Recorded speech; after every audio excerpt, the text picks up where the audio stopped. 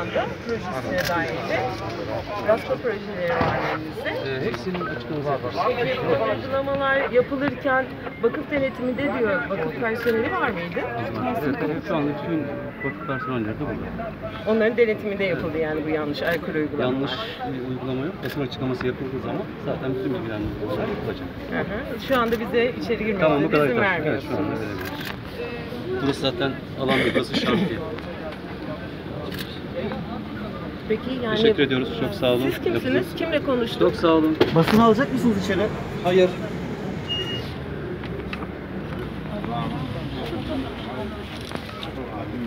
İBB bir açıklama yapacak mı? Yok.